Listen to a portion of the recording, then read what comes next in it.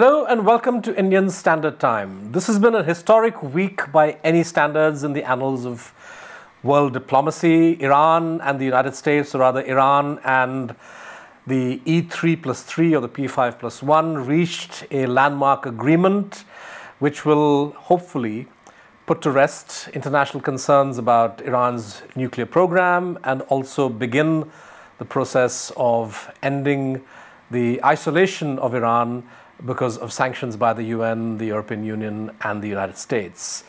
Joining me to discuss this week's agreement between Iran and the P5 plus 1 is Professor Steve Miller of the Kennedy School of Government at Harvard University. Thank you very much for joining us on Rajya Sabha TV. My pleasure to be here. The Iran deal has been something uh, which Barack Obama has made a top priority. Uh, he got off to a slow start in terms of his engagement with the Iranians, but uh, ever since Rouhani became president, things have moved at a fairly high speed. And in the last year and a half, it seemed as if the Obama administration has pulled out all the stops to ensure that uh, they reach a deal. Why is this so important for Barack Obama and for the U.S.? Well, you know, if you put it in a wider context, uh, the United States has been concerned, at least since the middle of the Clinton administration, some 20 years ago, that Iran's nuclear activities were leading it in the direction of a weapon. Uh, and uh, the United States is generally opposed to nuclear proliferation, but it's particularly concerned about a state like Iran with which it has very negative uh, relations and where it's, it is seen as a kind of rival and uh, troublesome player in a very important region of the world. So the U.S. has been struggling for a long time to get, get a grip on this uh, potential threat.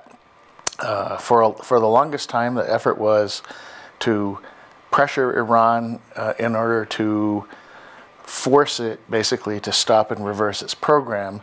Uh, this was the policy of the Bush administration. It was the policy that was more or less continued in the early part of the Obama administration, although Obama introduced a, a more substantial element of diplomacy. Uh, but that uh, policy failed, basically. Uh, so the era of nuclear related sanctions uh, over the last dozen or so years uh, since this uh, issue came to the head of the kind of international agenda uh, resulted in a world in which the Iranians had 20,000 installed centrifuges. 9,000 of them were. They kept operating. growing and growing throughout the. They kept growing. The the, the slope of Iran's centrifuges went like this, and on that chart you could draw the lines like this, and it was this sanctions resolution, that sanctions resolution, the next sanctions resolution, and the curve just went like this. So uh, uh, maybe there was some point at which Iran would have broken and capitulated, but we never arrived at that point. Uh, there was, as many people will recall, serious consideration of the military option.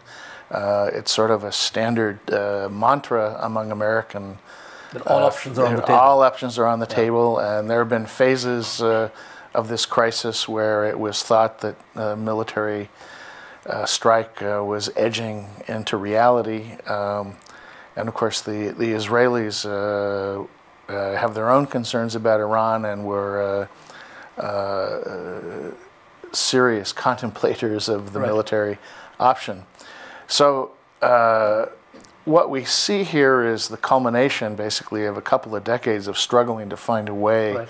of constraining Iran's yeah. military nuclear uh, option. Uh, for Obama, I think uh, it's also uh, a major foreign policy success. It's a legacy uh, issue. So I think these guys have been interested, this particular subset of the Iranian elite has been right. interested both in a deal, but, uh, but, but perhaps more importantly in re repositioning Iran. Right uh, in the international yeah. setting yeah, uh, for I, a long I, time. I wanted to pick up on that aspect because I know it's difficult to disentangle America's military concerns. Mm-hmm. Uh, some would say that those concerns have been exaggerated in the past and there have been differences of opinion within the US establishment, but they have been there on the table. But if we disentangle those concerns from the wider geopolitics, mm-hmm. uh, for Obama, how important is this deal uh, from the point of view of opening a new path for you know America to work in a difficult mm-hmm. region mm-hmm. Mm-hmm. with a country that has traditionally been US's ally before right. the 79 revolution. So, in other words, uh, is he looking at the nuclear deal as, as something which takes a problem off the table and then opens the door for a much wider kind of engagement, or is it purely uh, a military strategic issue that he's trying to deal with right now? Well, I think that the the approach that they took was to to demarcate the nuclear question as the paramount issue because of the importance of okay. preventing the nuclearization of Iran uh, as a as a military power. Um, but the president, even in the last 24 hours since the deal was announced, uh, has uh, already said that, that there's a potential here for, right. a, for an opening with Iran. I think it will be a, a mixed picture, though, because uh, we're going to have a, a, serious debate in the United States. There's going to be a lot of criticism. The Congress is going to have 60 days to yeah. examine and criticize. Okay, we'll come to that in a second. Yes. But uh, I mention that uh, in this context simply because there are going to be a lot of people in the Washington scene, including proponents, who are going to be saying, we have to resist uh, Iran's uh, right. ambitions in the region. Uh, we have to. So the selling, the selling of yeah. the deal, right. may generate rhetoric even. Well, well I think both rhetoric and yeah. behavior. That yeah. is to say, there will be an effort in Washington okay. to signal right. that we're not going to turn a blind eye to Iran's misbehavior, right? And there's also going to be, uh, to anticipate a number of another of your questions, there will be a serious effort to reassure our friends and allies in the region. Right. And both of those will will mean that the that the uh, rivalrous aspect right. of U.S.-Iran relations will right. remain present. But what, what may turn out to be true is that getting this nuclear issue off uh, the agenda or setting it aside and boxing it off in ways that make it less urgent uh, will allow us to cooperate in those areas where our interests are compatible. Okay.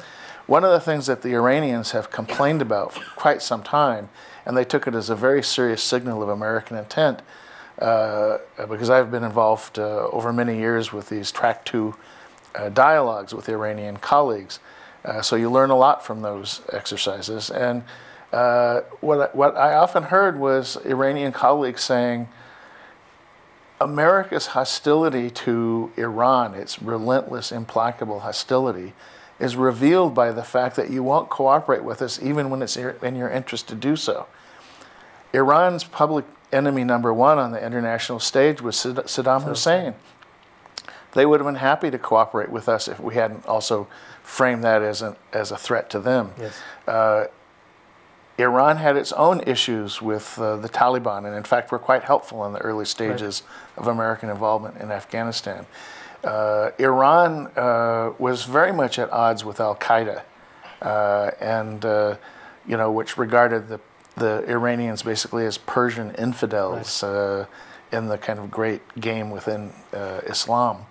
so there were a number of respects, and today. Uh, both Iran and the United States are counterpoised against uh, the Islamic nice. State uh, in, in, Iraq.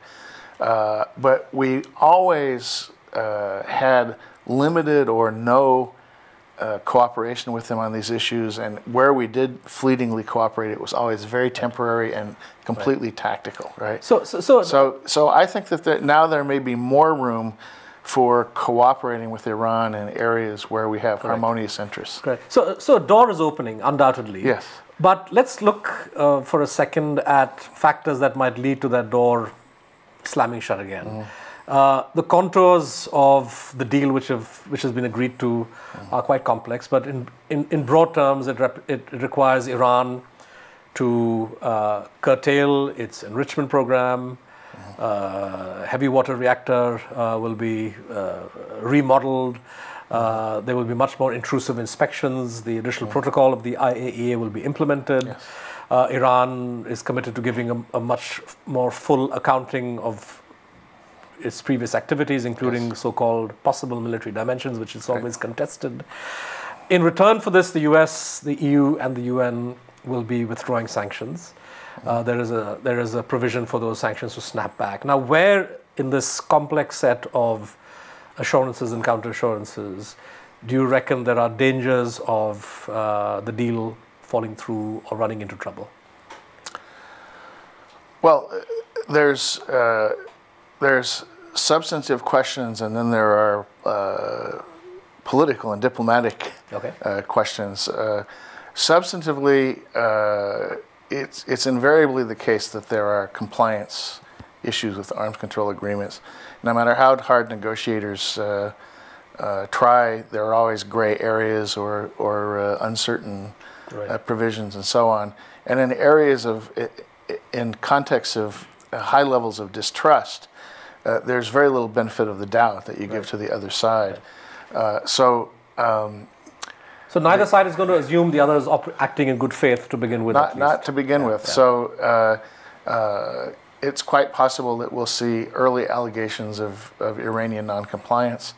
Uh, it's also the case to slide, you know, a little bit into the uh, domestic political scene in the United States, but there are forces in the United States, influential actors, who do not want this deal and who have considerable capacity to derail it.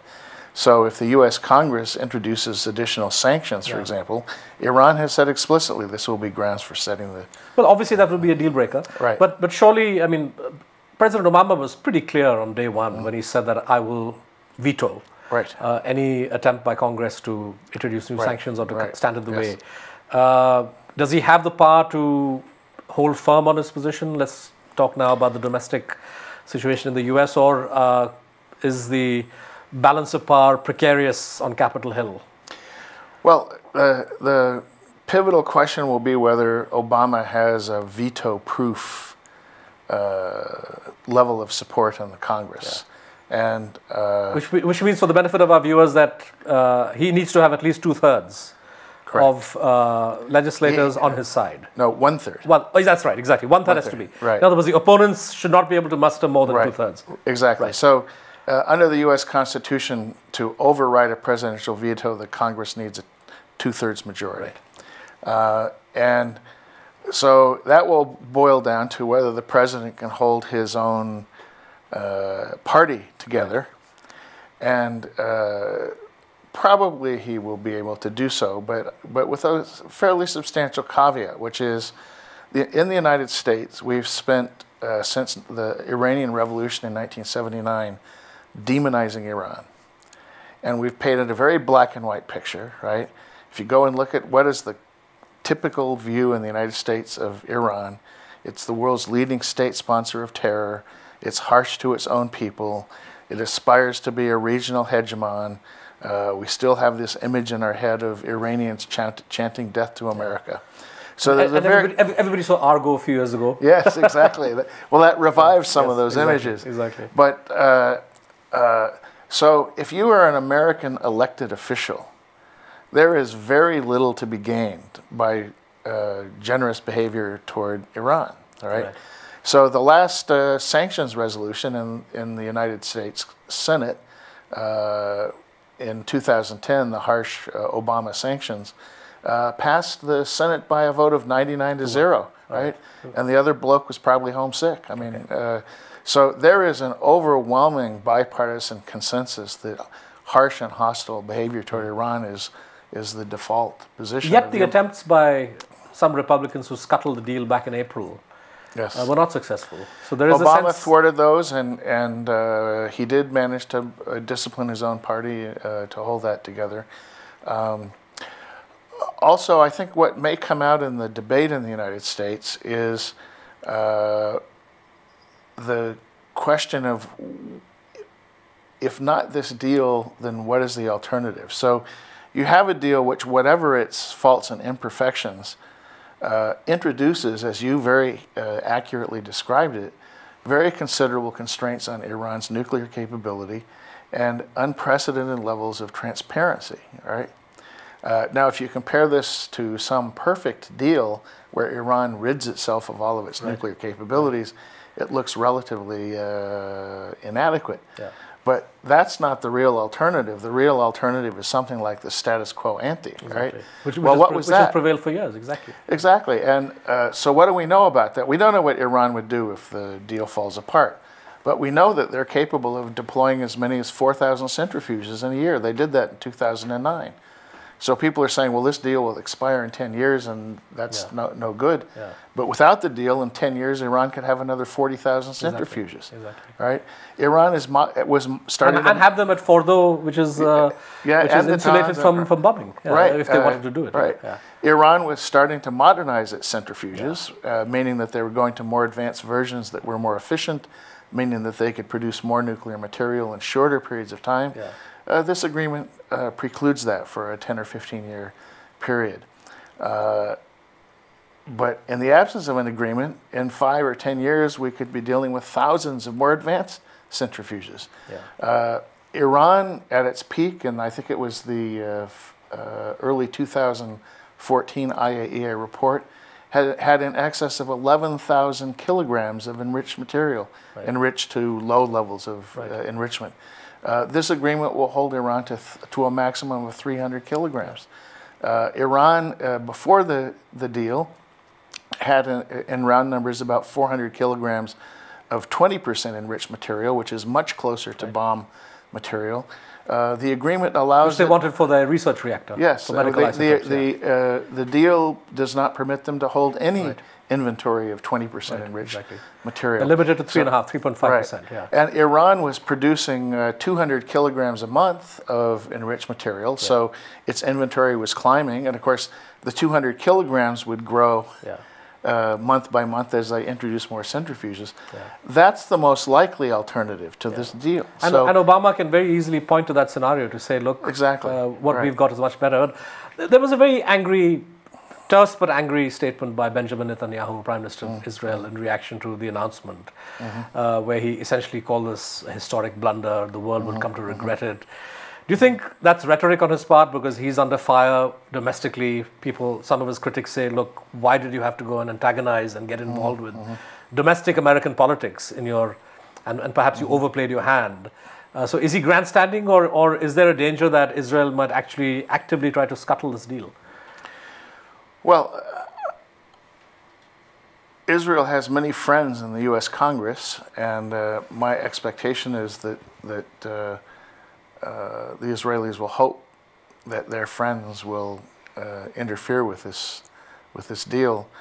Uh, I believe that So, so Netanyahu will continue to lobby and deploy all his all his clout uh, on Capitol Hill to ensure that this is vetoed in some, uh, that, or that the presidential veto would be uh, would be overridden. Well, he called a cabinet meeting uh, for yesterday evening, the day of the announcement of the deal, at which he orchestrated the unanimous rejection of the deal by the Israeli cabinet. Right. He then gave a public statement in which he described it as a historic uh, blunder and a, uh gamble with the future of uh, Israel. Right. Uh, these don't, to me, seem like the actions of a man who's in a good mood. and uh, uh, he could have said, "We don't like this deal," or "We, but we can live with it." He could have said, uh, "We would have handled it differently, but we respect the policies of our friends, the Americans." Right. But instead, he said uh, Barack Obama has make, made a catastrophic error, right? Uh, so whatever he does from here on out, that's a huge signal to his Okay. friends and followers about his position.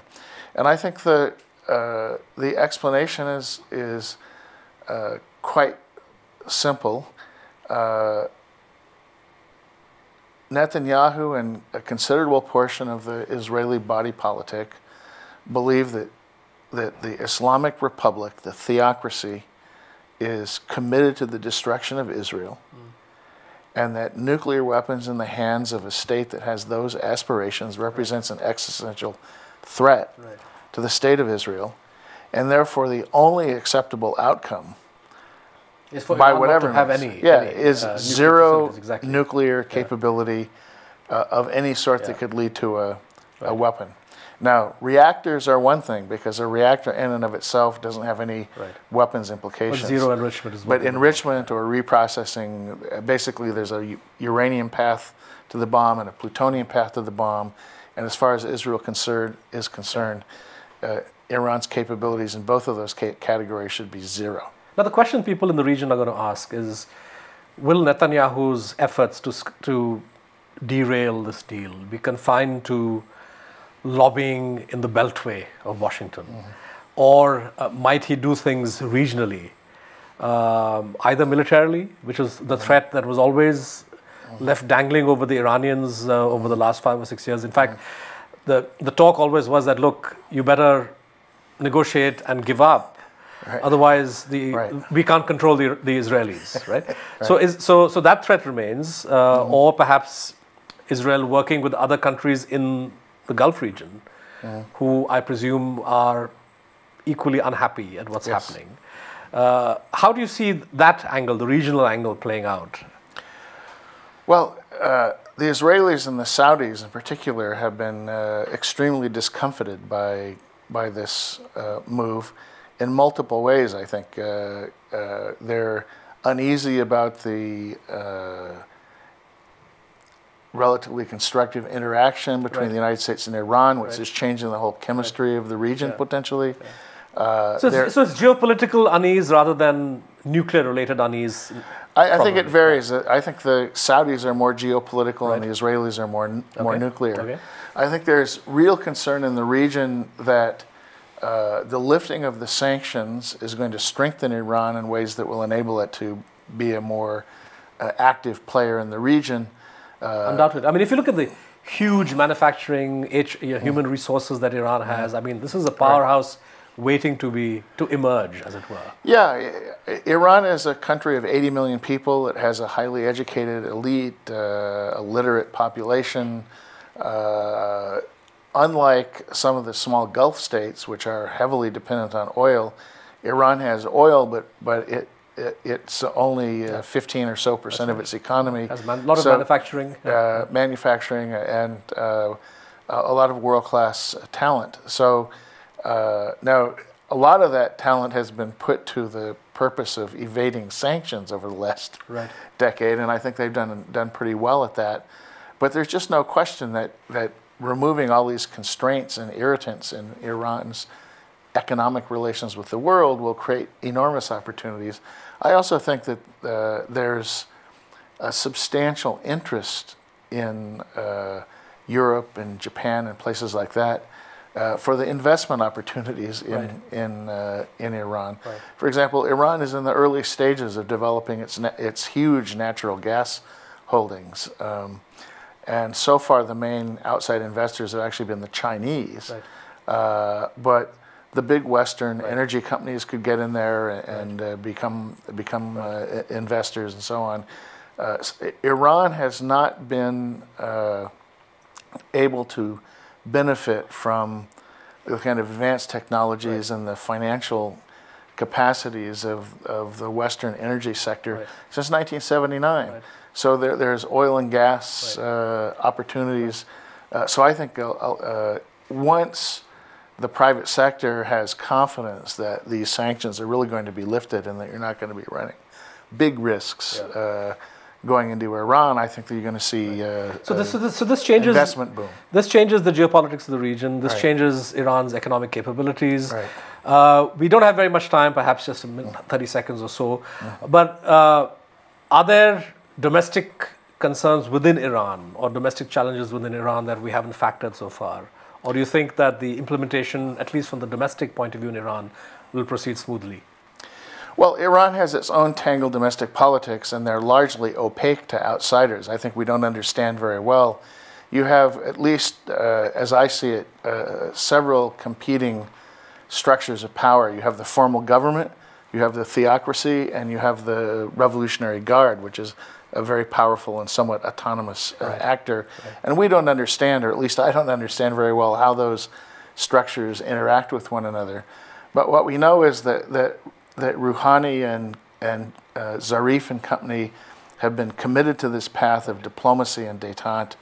Uh, and they clearly have the confidence of the supreme leader. Uh, they certainly have had right. his his public support. Uh, having had the opportunity to uh, interact a lot with Iranian colleagues and to visit Tehran a number of times, uh, I I would say that one of the most surprising things about that was to realize that a very large fraction of the Iranian elite I would say from Khatami and the reformers to, through Rafsanjani and the uh, sort of traditional conservatives Right. were in favor of some sort of rapprochement with the United States. Now there's still a portion of their spectrum which is rejectionist and hostile to the United States. We hear those voices. Those are sometimes the loudest voices, so they attract the most attention. Right.